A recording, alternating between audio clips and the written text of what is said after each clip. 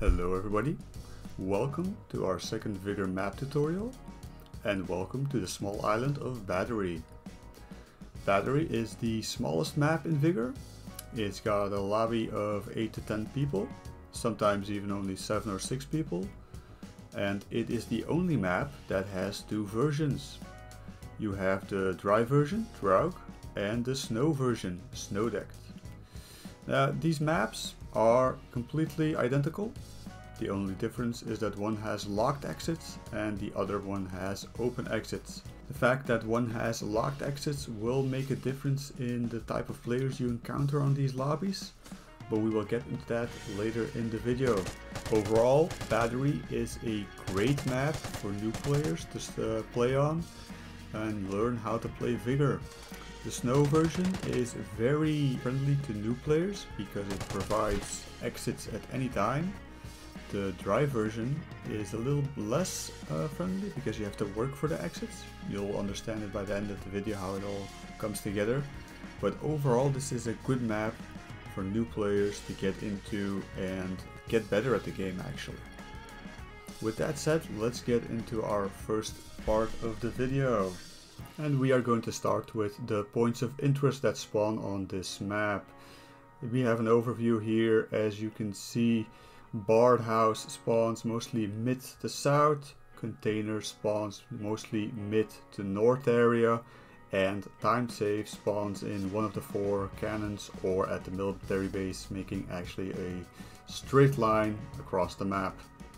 Interesting on this map is that you will always be close to a point of interest. Even if both of them spawn north and you spawn south, you can actually always get to a point of interest really quickly. That also means you will rarely be alone at a point of interest always be ready if you're rushing a point of interest at the start of the game that somebody else is going to be there as well. So sometimes it's better to just take a tactical position near a point of interest than actually rushing it and exposing yourself. Next up is our loot distribution on this map. Unlike Fisk, this map is completely used. You will find loot nearly everywhere where you go. Military base, motel, firing range all have good loot. Um, all four of the cannon bunkers, you will find stuff in there. Uh, the area northeast, the ponds and logging area, you will find chemicals and fertilizer there if you look around a bit. Car park has cars. Uh, cars have okay loot. I would avoid the car park to be honest, because if you set off car alarms there, you will definitely get company within 10-15 seconds, somebody who wants to come and kill you. In the motel area, the cars in that area you can loot safely and have better loot in my opinion, but I would recommend only looting them if you're about to exit. There are two exits there, which means you can always escape really quickly if somebody else shows up. Radio mast is a special area. There's a truck at that uh, building, which always has a portable signal detector, a transmitter, a jammer, and a mortar. It's always there. Every game, every map. So if you spawn near that one, it's definitely worth going there first and picking up those items.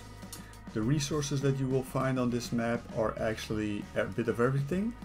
So this is again good for new players who actually need all kinds of resources. This is also a good map for uh, newer players who want to quickly jump in and out of a map. So you can actually just start a game, loot one of these areas and then just go to the nearest exit and leave. This will not give you the highest loot per encounter, but if you are really just gathering resources, this is a nice map to do it. I'm talking about the snow version of course, because the dry version has locked exits. Next up is an overview of the spawn points on this map. You can see that the spawning here is nothing special. It's a bit typical on a lot of maps that you just spawn on the outer edges. Um, uh, if you know that you're only with 8 or 10 people, then you're a bit spread out, but there will also always be somebody very close to you. Like in the north area, you can easily just spawn with 3 people at cannon number 4. Uh, firing range, 2 people, military base, two to three people easily and like I said it's a small map and you can very quickly get to another point. Now that we've done a bit of an overview here, I want to explain why I think this is a good map to learn Vigor on. Because this map, you have the loot everywhere, you are not forced into certain areas here. You can go wherever you want to go. If you want to avoid points of interest, you can avoid them. If you want to avoid other players, you can avoid them. If you want to get into a conflict with other players, it's easy to find other players and get into a conflict. Um, because everything is a bit spread out, it also means that not everybody is going to be in the same area all the time. There's going to be a couple of people north, there's going to be a couple of people south. So unlike Fisk, you don't really need to worry about having the entire lobby concentrated in one small area. You can just stay in one area, stay in the north, encounter two players maybe, have one or two conflicts with those players, and then just grab the loot and go. And you can say, hey, that was a good game, because you will have gotten kills and loot. Unlike Fisk, where you really get forced into a very big uh, hot zone with conflicts. And it may sound a bit like I'm contradicting myself. On one hand I'm saying it's easy to avoid people, on the other hand I'm saying it's easy to find other players. And both are true.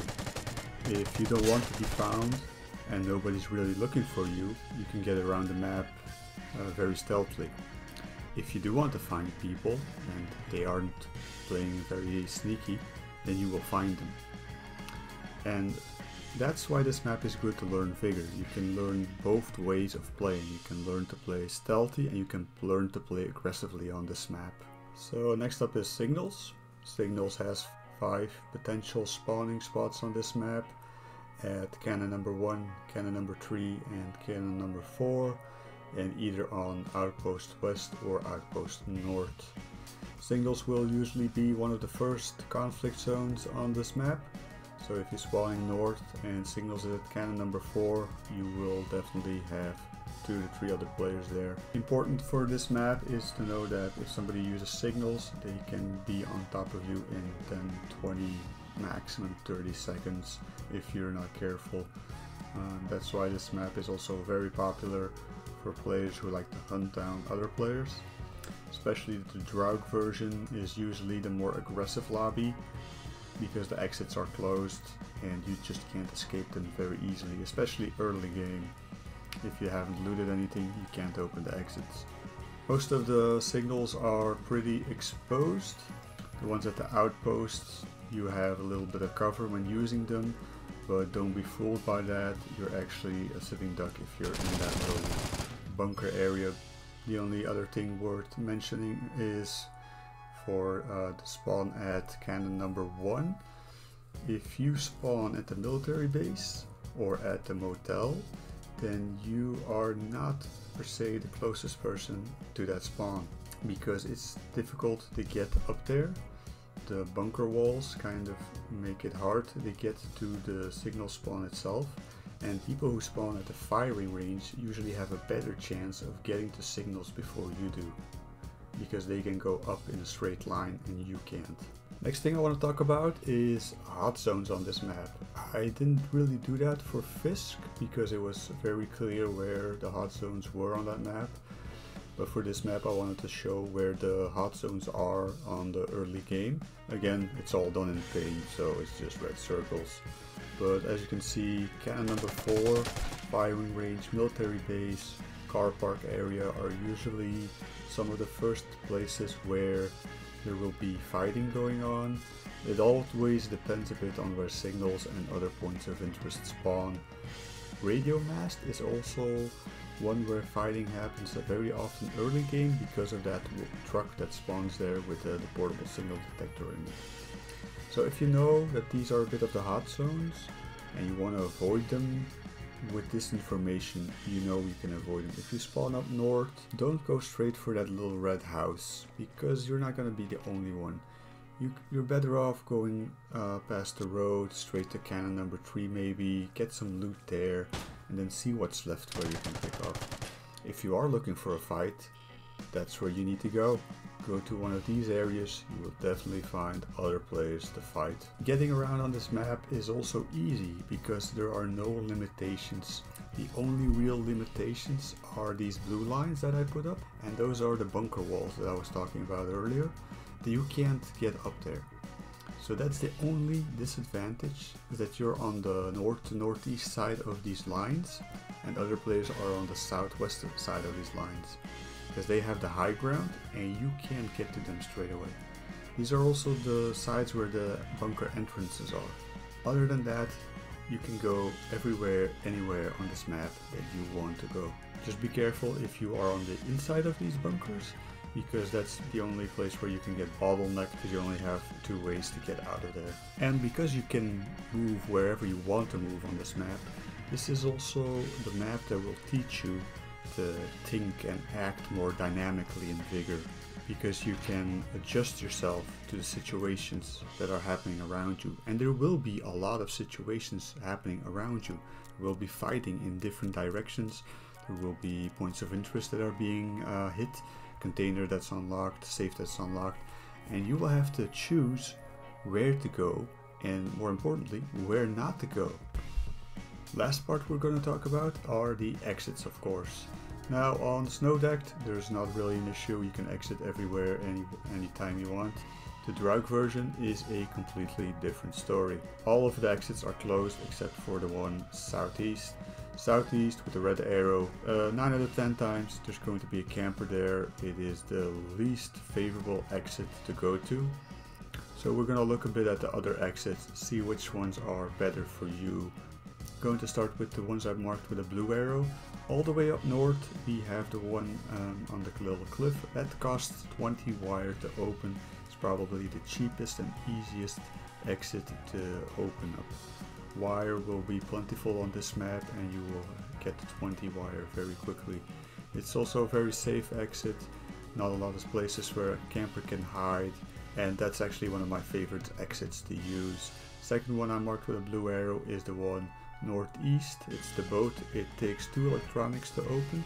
Electronics easy to find in cars, but of course looting cars always the risk versus reward situation but 2 isn't that bad.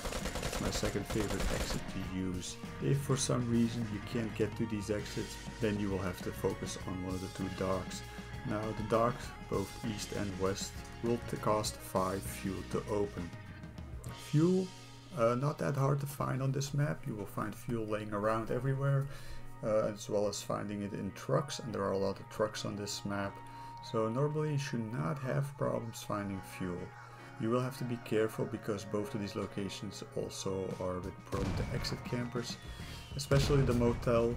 Exit campers like to set themselves up between the motel and the one with the red arrow and try to cut you off there. Just like on Fisk, I would recommend planning your exit a bit.